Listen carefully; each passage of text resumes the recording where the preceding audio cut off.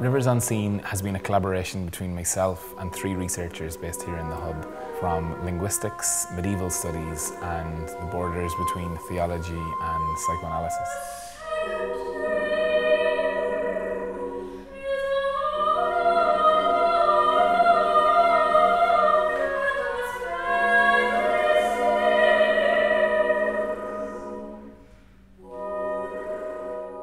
The text of the piece is derived from the letters written between Carl Jung and Victor White.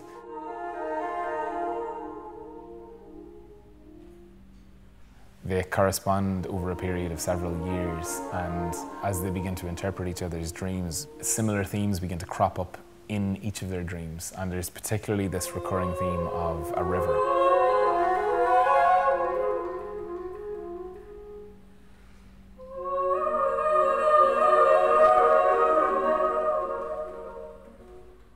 When I was beginning my time in the hub, I met some of the architects who were responsible for the design here, and I was surprised to learn that there is a river running underneath the hub, and so they had to set the foundations as sort of a bridge, so the building floats above the river.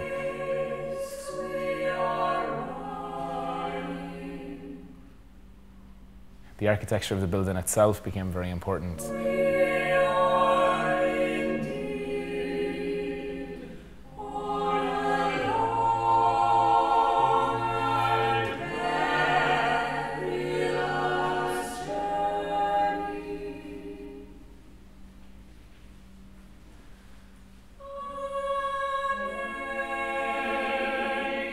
As the piece develops, the audience become more aware of this invisible force that's coming from beneath the choir, and then gradually that rises through the different spaces of the building.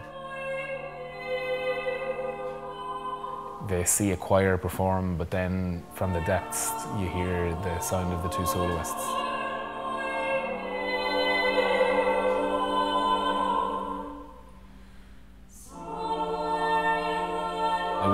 Interested in the idea of this invisible movement that silently there's this river flowing underneath all the time.